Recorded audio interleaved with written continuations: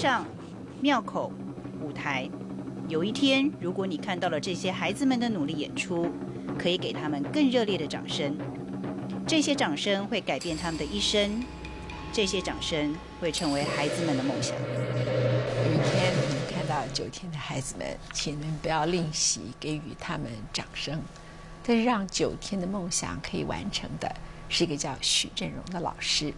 他原来是一名博士班的一个准博士。他最想做的是什么？其实我认识中央研究院民族所一位教授。他自己本身李丰茂教授，他就是一个当机，那他就想当一个当机，但是拥有博士学位，所以他对台湾的整个民俗艺术有一种狂热的梦想。后来他发现一件事情，他发现有这么多的中辍生的孩子，有这么多不幸的孩子，这些不会读书的，在街上流浪的，甚至少年监狱的，很可能他们不只是不是坏孩子，他们只是可怜的孩子。于是。九天的阵头就这么组成了。今年阵头在台湾上映，创下了三亿的票房，说的就是九天的故事。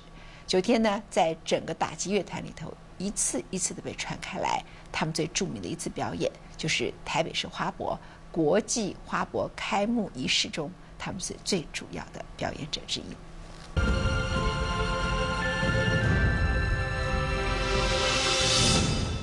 咱台湾传统的庙会顶头官将部，结合了现代的剧场灯光音响舞台，三太子新光彩。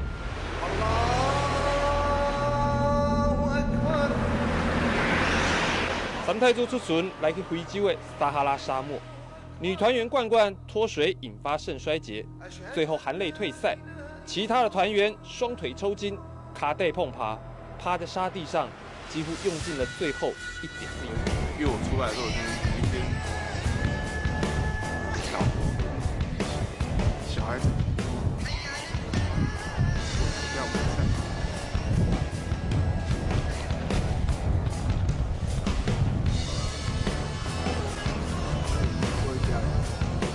抹去眼角一滴泪，还是继续向前走，手拉着手，互相打气，互相陪伴，眼里只盯着那条终点线。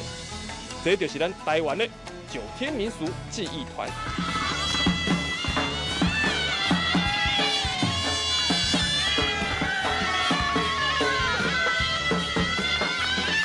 因为较早看到镜头，他的联想很快，就是兄弟嘛，哦，老麻嘛。啊，这这就是无艺术、无水准、无气质嘛。那我们先从我们的外表去改变，让他做做人看。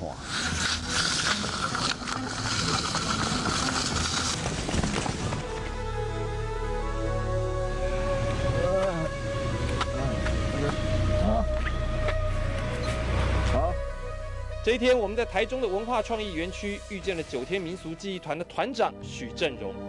看看这个背个大鼓、兔片钻呆丸，扛着三太子爬玉山、横渡大沙漠，满脑子疯狂想法的团长，他的梦想到底是什么？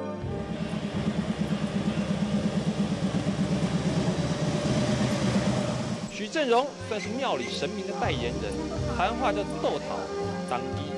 徐振荣同时也是在念研究所的准博士，他还打算成为台湾第一个朴素当地。从国中开始，他就在大肚山下的神坛拜师学艺。这么多年下来，他常在庙口遇见无所事事的中辍生。徐振荣很明白，不爱读书不一定是坏孩子。这孩子，我相信他也不是愿意他要这样子做，他应该还有一个很善良的心。只是过这个善良的心，他的这个这个问题，我们没有去把它找出来。年轻人都希望是被注意的，我们要提供更多的机会，让他们去尝试。让他们尝试的去做，要教他们怎么做，带着他们怎么做。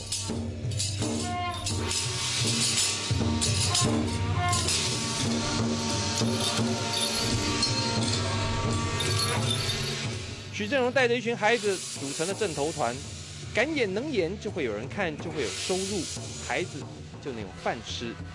九天民俗记忆团成了这群孩子的人生驿站。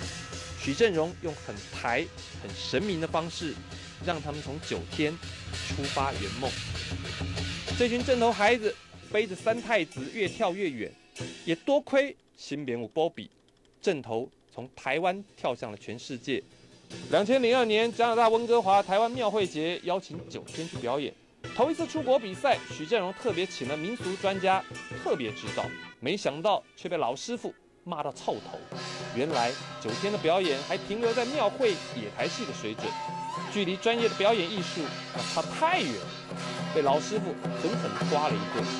许振荣要求所有的孩子邓体，登给他菜，哎，跑掉一半，跑掉一半，那你没关系。重来。早期的学生真的是不喜欢读书，早期我也不喜欢读书。我是四十岁才开始读大学。像比如说我们出去表演，我就要求我的团员衣服都要穿得很整齐，我就会去买很多的团服给他们穿。那我不容许有人哦咬着槟榔，或是手拿着啤酒，哦，所以我们那时候我对他们要求是蛮蛮蛮严苛的哈，实际上是一种责任。大肚山上醒目的红色烙铁招牌“九天”两个字映入眼帘，九天玄女庙就坐落在空地中央。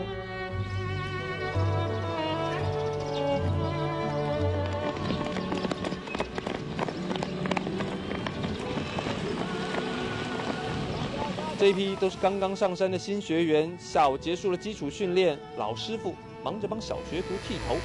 年初，九天的故事改编成电影。镇头卖了三亿多，创下台湾春节的票房纪录。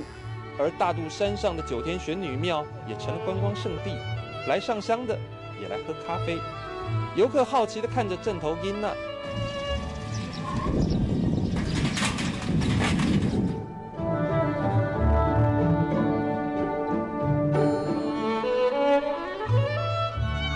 假如每个人都愿意把手心向上，接纳每个孩子。